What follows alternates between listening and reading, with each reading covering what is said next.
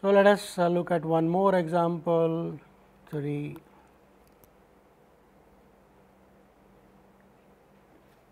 Okay, that is the interest. Um, I do not know whether I discussed the popcorn function. No? Okay, let us discuss what is the popcorn function. So, f is a function on 0, 1 to r and this function is uh, f of x is equal to 0 if x is irrational like before. In 0 1 if it is irrational the value is 0. If it is a rational it will be a fraction p by q right. If it is p by q, where p and q this is a number between 0 and 1. So, q will be bigger than p anyway right because it is between 0 and 1. So, put it as 1 over q if x is p by q. Forget the numerator take only the denominator of that function. Okay. Clear what is the function? Can you think of drawing a sort of a graph of this function? what do you think the graph should look like. So, let us try to plot this to see whether we can do something or not. So, this is 0 1 function will take values between 0 and 1 only right. What is the um, okay let us uh, let us uh, see when it is 0 this is not defined right p by q denominator could be anything. So, let us say uh, or x is equal to 0 both for x equal to 0 the value is 0 for every irrational the value also is. So, what is the uh, what is the uh, or you can put value at 1 also 0 if you like does not matter much actually. So, let us take what is the value at the point x is equal to half. When x is equal to half, what is the value of the function? It is half, right? Is rational, the value is half. Okay. 1 it is 1 by 3 what is the value value is 1 by 3.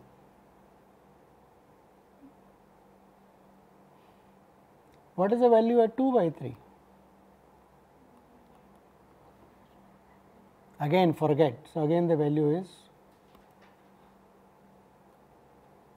so this is 1 by 3, this is 1 by 2.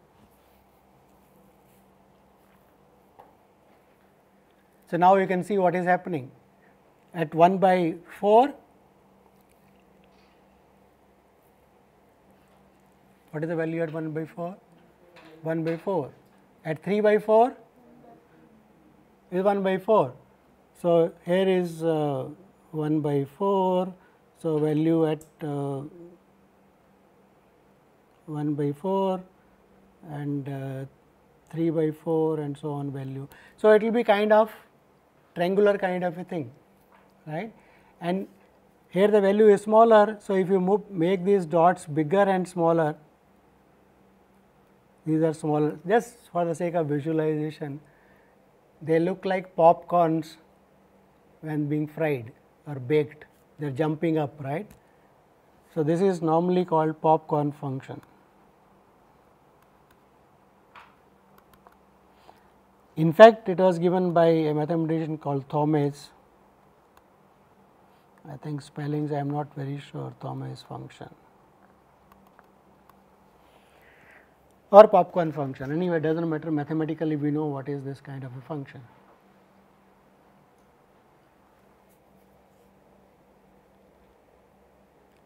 Do you think it is a continuous function? No, it does not look like, otherwise I should have drawn the graph better, right. But uh, what are the points of discontinuity of this function? At what points it is discontinuous?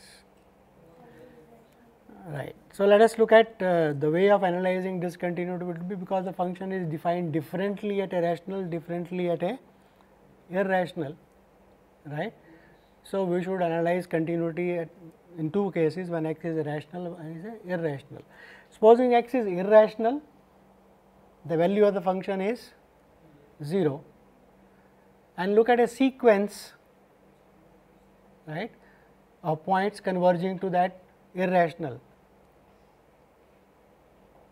but the sequence I can choose of irrationals then all the values will be 0. So, no problem, but I can choose a sequence of rationals converging to that irrational and if I choose the irrational uh, rationals then close to it I can have a point where the value is not 0.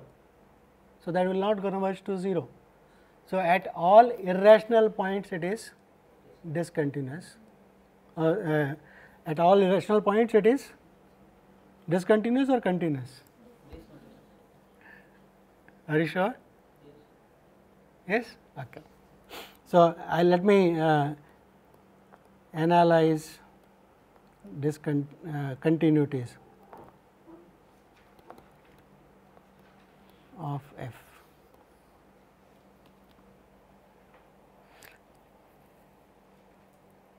I have given you some idea, right? Now, supposing let us take x to be a rational point, the value will be 1 by q, right. Now, value at all rational points is 0, right. So, now given a, a given a rational point, so here is a rational point, here is 0, here is 1, this is a rational point call it x 0. I know the value is not 0 for the function at this point, right. But I can have a sequence of rationals converging to it, uh, irrationals converging to it. Irrationals are dense, irrationals are dense, right.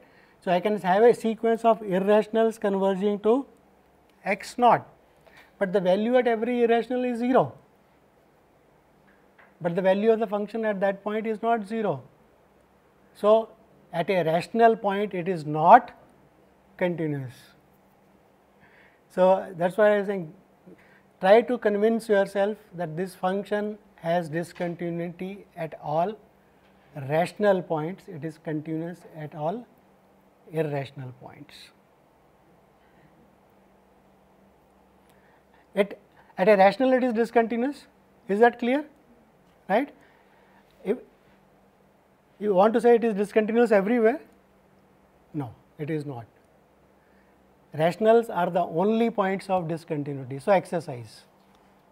Okay? So exercise. I have already given you that at a rational point as it is discontinuous right? That these are the only points that means what? That means, at every irrational point the function should be continuous. Okay? So, check that. So, mull it over and think about it. I will put it as a problem in the problem session, ask them to discuss it with you that uh, this is so. Let us not discuss now, okay, because we will have time to think let everybody have a time to think about the problem and discuss in the problem session. That is a better way of doing it.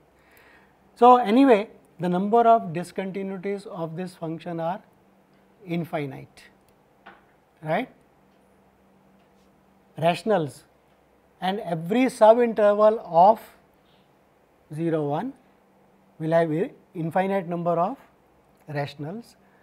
So, infinite number of discontinuities it has infinite number of discontinuities in every subinterval of 0 1 right. Now, let us try to understand is this function f integrable?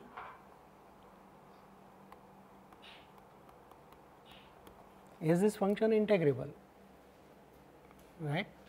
Obviously, it is not differentiable everywhere anyway because it is not continuous everywhere. So, that point is okay. Let us say integrable. Can I think of saying what is the graph, what is the area below the graph of the function? So, let us try to see. So, to do that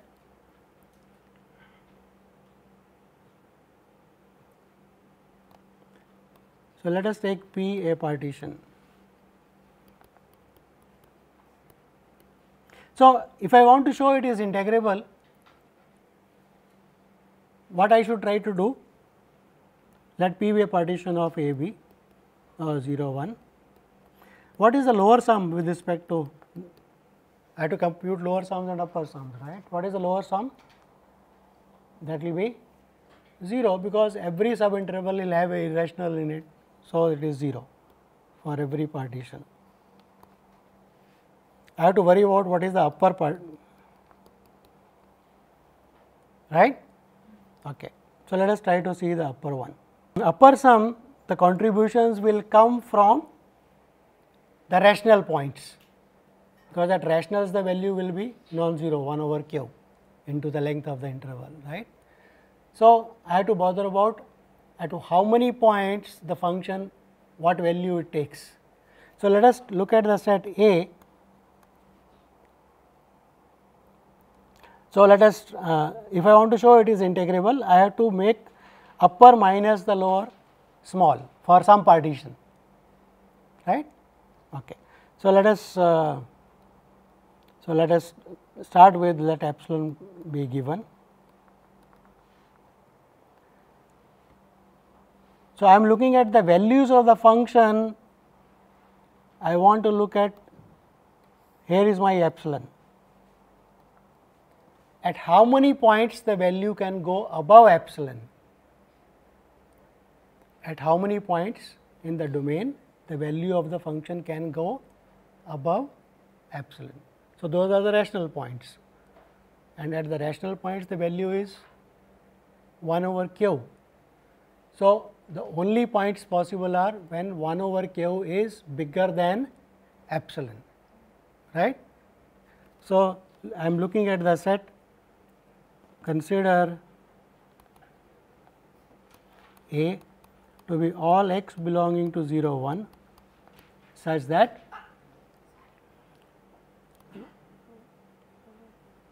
the value of f of x is bigger than or equal to does not matter epsilon right. What can you say about A? It is bigger than f of x is bigger than epsilon when f of x is 1 over q. So, how many q's are possible so that 1 over q is bigger than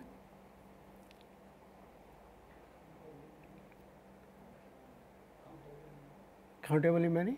I do not know, I am asking. So,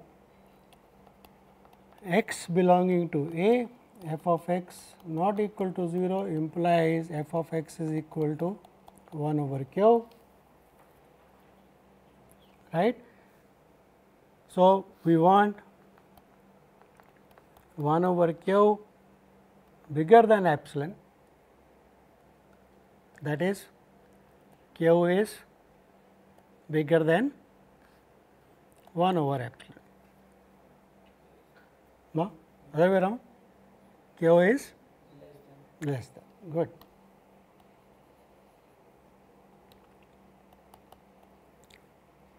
Q is less than 1 over. How many q's are possible between 0 and q has to be bigger than 0 anyway, right. Between 0 and bigger than 0 and less than epsilon is fixed. How many are possible? There are only finitely many, not countable, only finitely many, right. Q is positive. So, how many are possible? Only how many natural numbers bigger than, so A is So, that means implies A is finite. So, the set of points where it goes above. So, points where it is less goes above it is only finite right. So, let us call this finite number as something say x 1 less than x 2 less than finite some number say x n okay, bigger than a less than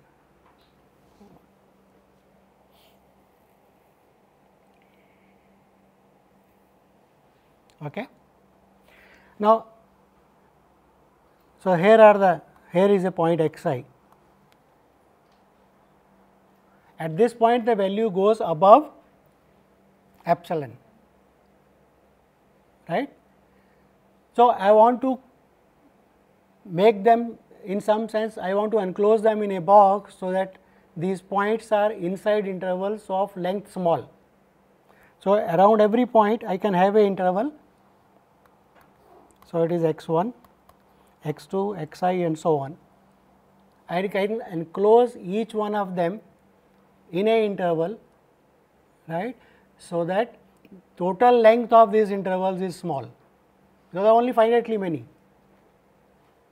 right they are only finitely many. So, let us put so enclose these points in intervals of total length small. So, meaning what? This is all English. What is the mathematics of that? Right? That means for every i find uh, a interval i i and interval such that x i belongs to i i, length of i i is small uh, uh, sigma length of i i i equal to 1 to n is small. So, how small you want it? Let us make it less than epsilon again. Is that okay? Around every point find an interval right of length epsilon by n. So, when you add up all this finite number total length will be epsilon by n plus epsilon by n n times that will be epsilon. Okay. Here is my A and here is my B.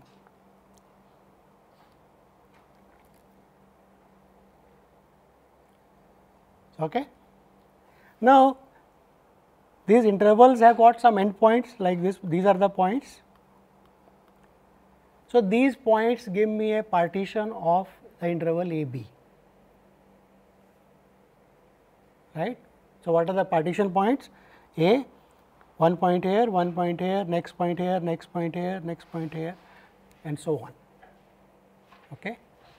So, if you want let us uh, give them a name. So, let us uh, if you like so let let i i be we want to give a name. So, let us A i B i. So, what does it look like?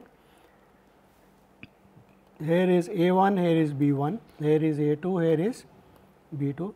X 1 is somewhere inside, X 2 is somewhere inside and so on, X n, A n, B n and here is A, here is B.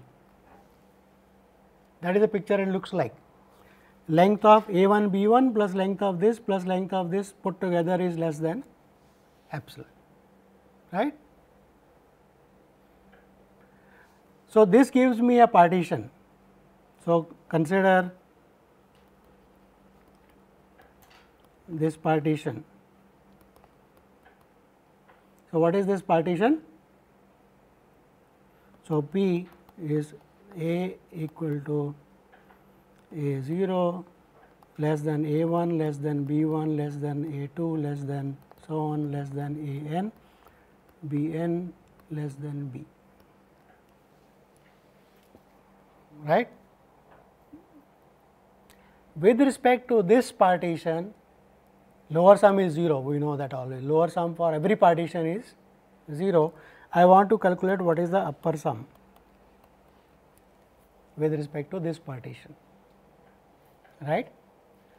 So, the upper sum I will divide it into two parts over the intervals which are a 1 b 1, a 2 b 2, a n b n, right.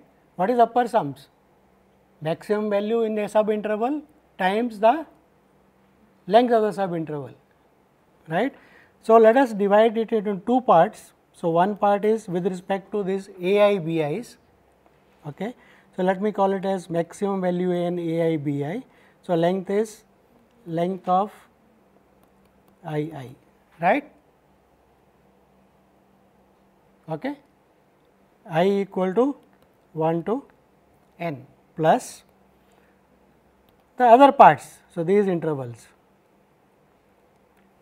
So, what is this sigma let us call it m j if you like.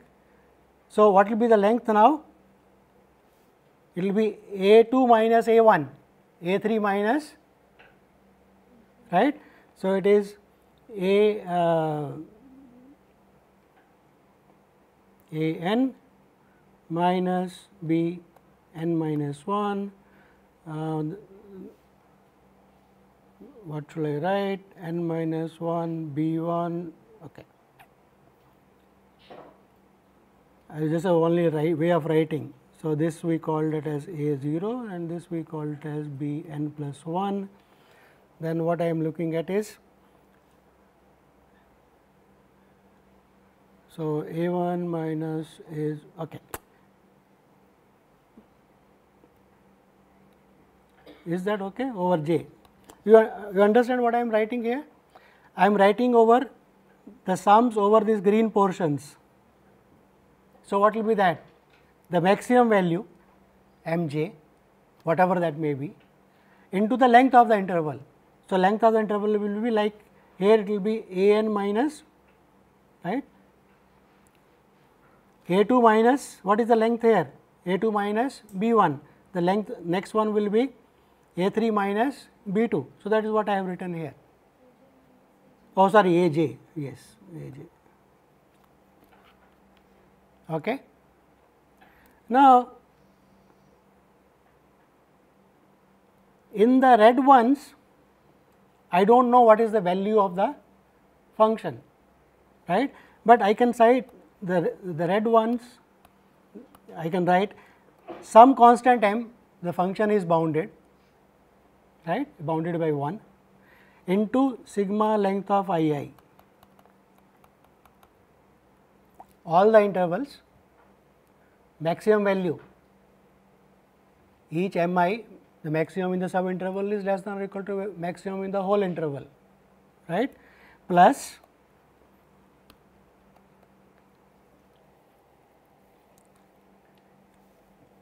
what can you say about the other part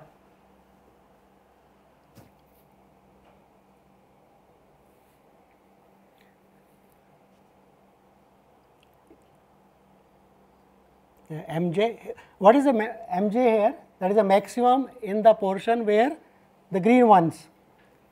What is the value of the function in the green portions? In the red ones, the value was bigger than epsilon. So, green ones, those points where it is bigger, we are finitely many. So, it will be less than epsilon, right. So, let us uh, write this value is less than Uh, epsilon times sigma a j minus b j minus 1 whatever that j may be. And this length this one we have seen it is the way we found these intervals were less than epsilon. So, let me put that as epsilon. So, less than or equal to m times epsilon plus epsilon times some call it as m 1 this is a constant. Okay.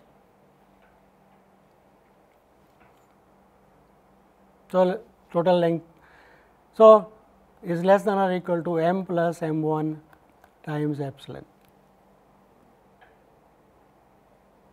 So, the basic idea of the proof So, I have found a partition say that the upper sum is less than epsilon times a constant. So, the constant does not matter in our analysis. So, I have found a uh, partition so that the upper sum lower sum is 0. So, that the difference is less than epsilon that means the function is integrable. So, uh, let me re revise a bit the idea of the proof. See this is the crux of the proof says upper sum will arise from the values where the values are non-zero, right. So, the where the values are non-zero, I look at those points say where the values exceed epsilon and less than or equal to epsilon. Where they exceed epsilon, the value of the function, there are only finitely many such points. Those points where the value can tend to become larger, I enclose them into small intervals of total length small. So, I that upper sum with respect to those intervals I make it small by enclosing each point in a small interval of total length small. In the other intervals the value of the function itself is small. So, does not matter because the total length of the subintervals is b minus a. So, that is how I contain the upper sum minus the lower sum I make it small by making the upper sum small in the intervals where the value exceeds something there are only finitely many other parts does not matter if the value is less. So, this is uh, um, try to read the understand this proof yourself later on when I will send you the slides. Uh, the basic idea is that this function is a function which has got discontinuities infinite in every subinterval but still it is a integrable function. The earlier function rational, irrational 0, 1 that was discontinuous everywhere. So, that was not integrable, right. And uh, if the number of discontinuities are finite, that is not really a problem, right. Once again we can define the integral in separate parts and add. So, the function is integrable. So, integrability of the function has to do something with continuity of the function. We have got different examples, constant functions continuous everywhere, integrable. Monotone function, discontinuities are countably infinite at the most, we do not know how many, but still integrable. This function is a function with infinite discontinuities in every subinterval, still integrable and the other extreme is that 0 1 function discontinuous everywhere and not integrable. So, somewhere continuity we have to say how many points you are allowing discontinuity for the function to be integrable. So, next time we will prove first one theorem that every continuous function is integrable. Like every monotone function is integrable, every continuous function is also integrable and there is a deep theorem which says you can actually give a measure of how many discontinuities are allowed and that is the beginning of a story called Lebesgue measure. That is the beginning of the probability theory, Lebesgue measure, measure theory and so on. That basically says the set of discontinuities of a function if they do not contribute much in the length of the interval, then that function is going to be integrable. For example, for a finite set in this we were able to enclose each finite set in an interval total length small, right. But if I take a countable set even that I can enclose each point in an interval of total length small. For example, x 1, x 2, x n is a countable infinite set, x 1 enclosed in an interval of length epsilon by 2 x 2 enclose it in an interval of length epsilon by 2 square, next one epsilon by 2 cube. So, what is the total length of these intervals? Sigma epsilon by 2 to the power n and that is a geometric series, the sum is equal to epsilon. So, you can enclose countable infinite set of points in small intervals of total length small. So, in that sense you say that the countable set do not contribute anything towards the size of the interval. You say it is uh, countable number of points form a set of length 0, because you can put them in any small collection of sub intervals. So, there is a deep theorem says that a function is Riemann function is integrable if and only if set of discontinuities are small size set of length 0. Okay. Will not prove that theorem, I am just saying this may come across sometime somewhere, but you have seen a lot of examples of that, right.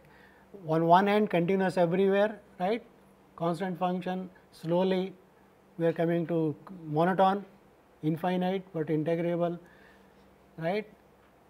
Then uh, this function popcorn function infinite in every sub interval still integrable and then discontinuous everywhere not integrable right. So, let us stop here.